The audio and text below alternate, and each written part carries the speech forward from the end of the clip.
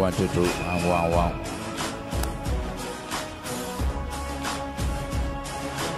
Grazie mille Aldo that we're back online and back in full voice. So yeah, hold on to your China. It's going to get rocking and rolling in here while we shout out for GB versus Germany. And I'm joined by Michael Enright from TBSA. Very dangerous. The Germans were flooding right in front of the net, and then the the keeper who uh.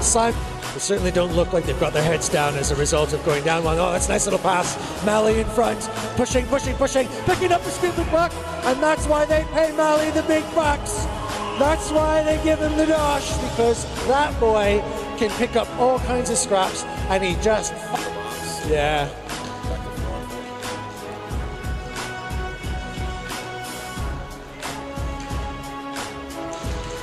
The game maybe just slightly against the run of play. GB won, Germany won as we roll towards the halftime marker.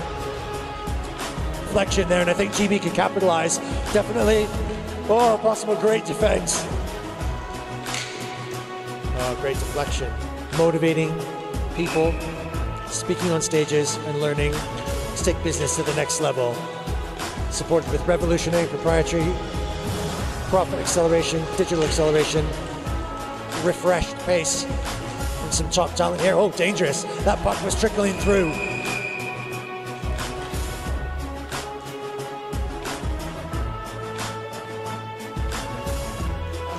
How is this kick buster? That slap shot. But what do they do? Ran for this.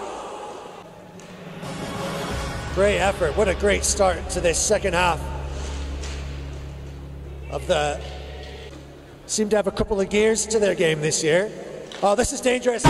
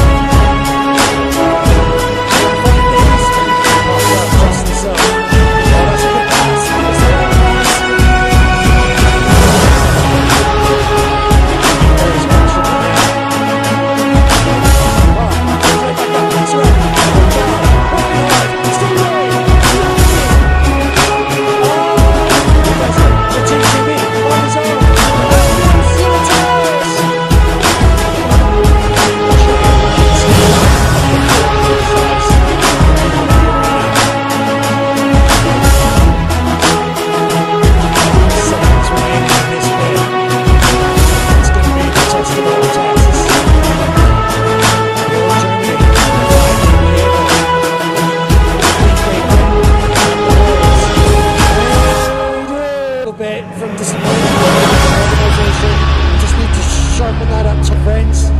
Keep watching. We are streaming every match live on both um, uh, rinks, inside and outside.